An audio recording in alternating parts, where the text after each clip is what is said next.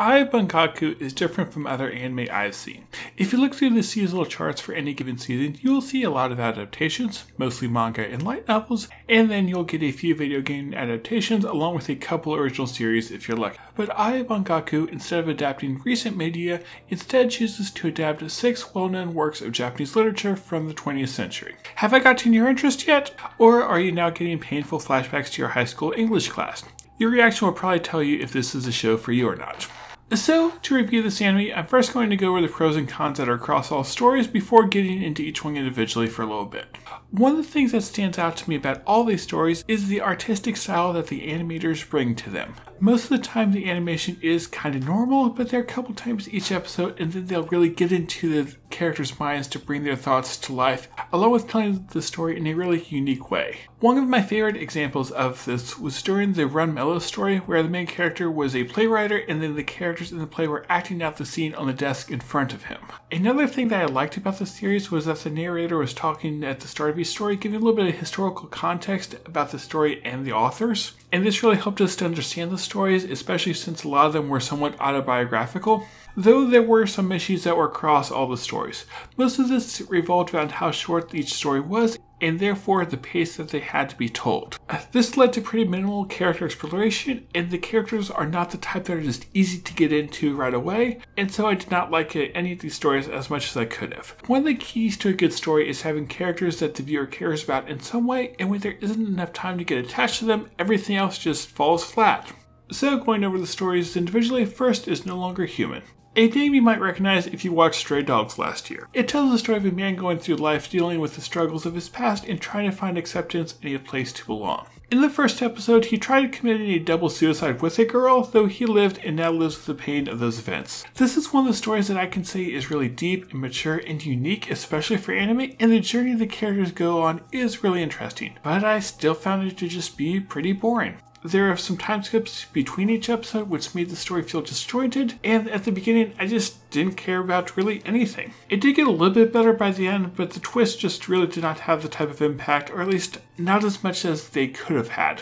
The next story is In the Forest Under the Cherries in Full Bloom, which is a love story between a woman and a mountain bandit. It is easily the worst of the six stories here because the characters were just completely unlikable and the actions of the main guy did not make any sense unless you claim that he was in love, but there's like no justification for why he'd be in love or any feeling of romantic feelings that he had toward her. I guess you could say this is about the true nature of humanity or something, but that just feels like it's reaching to justify a boring story. There were also some attempts at comedy here and a talking boar thing which just did not fit at all, and I don't know why I was here, so yeah, don't have anything good to say about this story.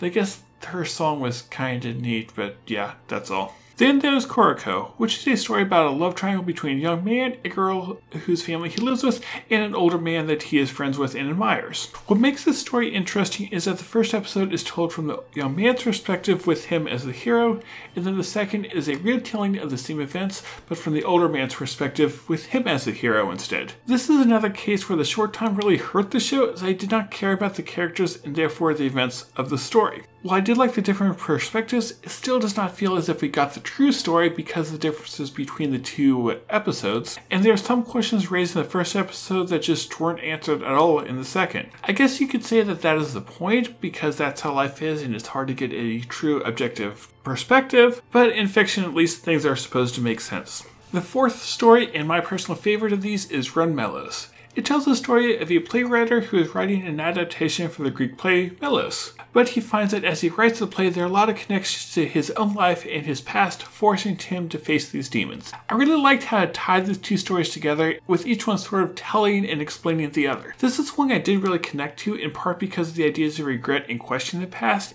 I cannot say that this is great though because of the limited time for the story and thereby limiting the impact, but I still enjoyed this one from beginning to end. Plus, I love the writing here with some of the lines of dialogue. And I also like that this is a more optimistic tale, but I can admit this is a matter of taste.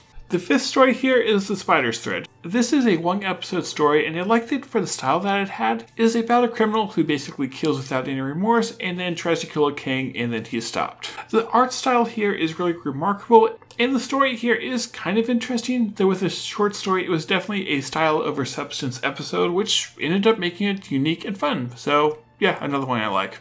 And lastly is Hellscreen.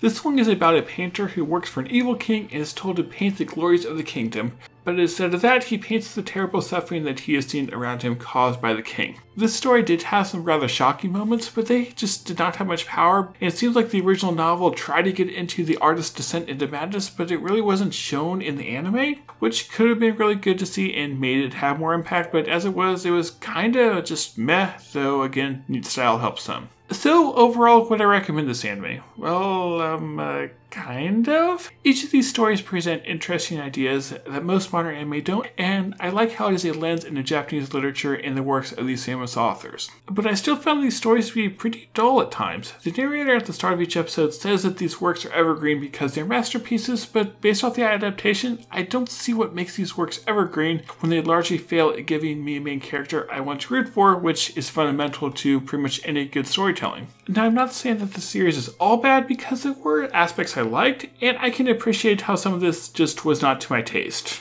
And I do feel like there's a sort of timeless aspect to some of these characters, but even then, when I don't care about the characters, then yeah, the rest just doesn't matter. Though I will say, Run Melos is a good enough arc for me to recommend, but even then, it's not that great. So, in conclusion, I give Aoi Bungaku a final score of a 4.7 out of 10 and a rating worth checking out. This may seem like a low score to give even a partial recommendation to, but I can definitely see how it would have an appeal to those different than me. And I feel that the show also has a lot of historical significance because it is an adaptation of so many well known Japanese uh, books. So it should not be completely written off. For recommendations of similar shows, I would first suggest another show that I do not like all that much, and that is Showa Genroku Rakugo Shinju, because that is a unique, mature historical show that I found to be boring and uninteresting. But if you like Aoi Bungaku, then you probably will like Show as well, and vice versa. The second recommendation would be for Perfect Blue because it is somewhat similar descent into madness as some of the characters here, though just not shown as well. So that concludes my review. I know that at least one of my viewers is a big fan of this show, and unfortunately I did not enjoy it as much as I would have hoped, but maybe now I can at least spread the word about a show that doesn't appeal to me, though it may appeal to others. Anyway, thank you for watching, and I will see you all next time.